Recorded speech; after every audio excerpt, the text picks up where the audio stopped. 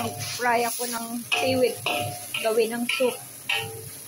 I-fry mo na siya. Tapos mo gawin ng soup.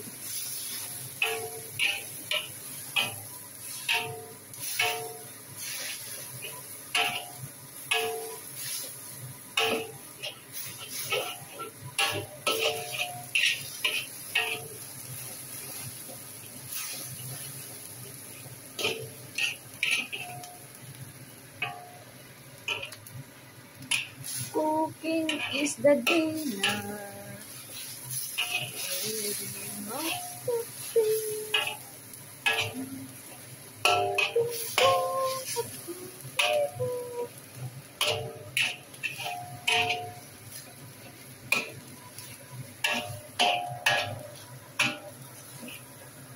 Black seaweed. Herb.